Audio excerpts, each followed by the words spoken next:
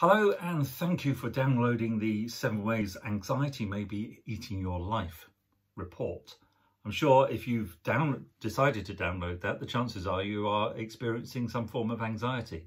And I hope it gives you uh, some relief and gets you on the path to leading the life that you want to live. This day and age, there's an awful lot of change going on. There's also a lot of uncertainty going on with this uh, virus that we're all going through and sitting with at the moment. And so the chances are that stress and anxiety are featuring in your life more than they used to in the normal run of things.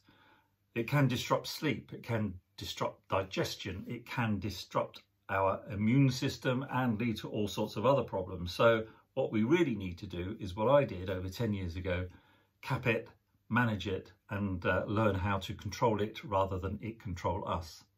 My name is Martin Daubney and I'm founder of the Clear Your Head to Get Ahead method, the antidote to stress in, well, wherever you want it to be. The workplace, the home, the golf course, doesn't matter.